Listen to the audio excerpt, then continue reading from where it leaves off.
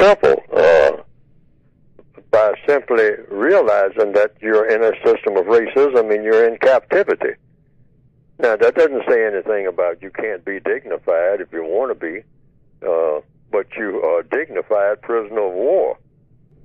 And what's the difference between a dignified slave and a silly one?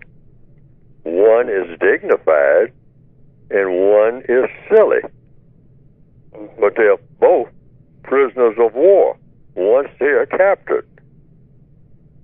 See, you, you're a prisoner of war.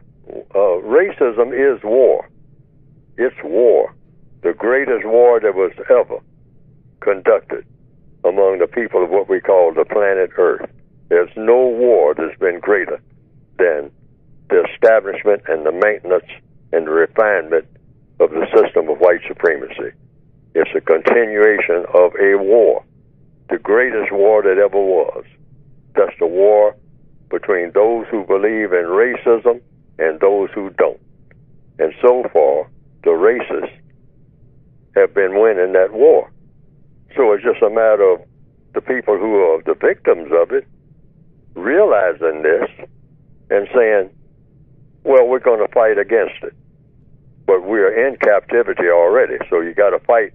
There's no such thing as fighting from the outside. There's no such thing as outside. So you fight from the inside of the prison. Like prisoners of war are always trying to escape the prison. But this is a prison that you can't escape from. You have to dismantle the prison itself and replace it with a system of justice. That's the goal. And what does justice mean? It means guaranteeing that no person is mistreated and guaranteeing that the person that needs help the most, like yourself, gets the most constructive help. That's not happening in the system of racism, and it won't happen. So you won't get discouraged simply by realizing what your circumstances are, because now you have something to aim for. Get rid of the system of racism. That should be your reason for being. If you have any other priority, then it's not logical for you to be doing anything else. Everything that you're doing is supposed to be aimed toward replacing the system of racism with the system of justice. Why? Because it is the greatest oppressive system ever invented in the minds of people here on this planet.